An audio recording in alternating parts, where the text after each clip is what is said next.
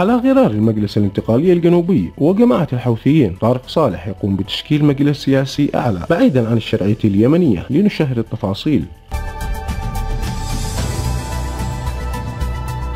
أعلن العميد طارق صالح اليوم الخميس في مدينة المخا تشكيل مكتب سياسي كغطاء للقوات التي يقودها والتي أطلق عليها تسمية المقاومة الوطنية وتنتشر مع قوات أخرى في مديريات على الساحل الغربي لليمن. ودعا العميد طارق صالح في فعالية إشهار المكتب السياسي للمقاومة الوطنية إلى المصالحة الوطنية وحشد الجهود لاستعادة صنعاء وهويتها اليمنية التي تجرفها ذراع إيران بشكل يومي. لافتا إلى أن المقاومة الوطنية لن تكون بديلا لأي مكون سياسي في إشارة إلى أنها ليست بديلا عن المؤتمر الشعبي العام. واعتبر البيان إعلان المكتب السياسي للمقاومة الوطنية تأكيدا على التزامنا بحماية مكتسبات تهامة والاستمرار في مشاركة معركتها التحررية وخدمة القضايا التنموية. كما عبر البيان عن إشهار المكتب السياسي عن شكرهم للدعم الشعبي والسياسي الذي تلقاه قوات المقاومة الوطنية من قيادة أفراد المقاومة الجنوبية. وكانت قوات طارق صالح قد تشكلت في مديريات الساحل جنوب غربي اليمن من بقايا قوات الحرس الجمهوري والقوات الخاصة التي كان يقودها نجل صالح بدعم من دولة الإمارات. مطلع العام 2018 بعد أشهر من فراره من صنعاء إثر مقتل عمه الرئيس السابق علي عبد الله صالح وهزيمته في مواجهته مع الحوثيين استمرت بضعة أيام بعد شراكة معهم استمرت عدة سنوات وكان لهم إسهام كبير في تسهيل اجتياح جماعة الحوثي صنعاء والاستيلاء على مؤسسات الدولة كما شاركت قواته بفاعلية في القتال ضد قوات الحكومة الشرعية والتحالف خلال الأعوام 2015 و2016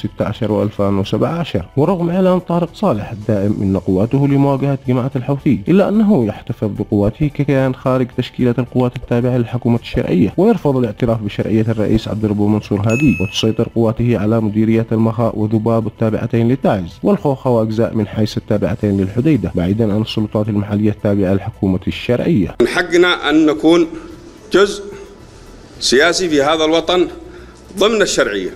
نحن لسنا بديلا لأحد ولسنا ضد الشرعية ولكننا نريد أن نكون جزءا من الشرعية جزءا فاعل في مواجهة العدوان الحوثي في معركتنا الكبيرة لاستعادة جمهوريتنا واستعادة مؤسساتنا.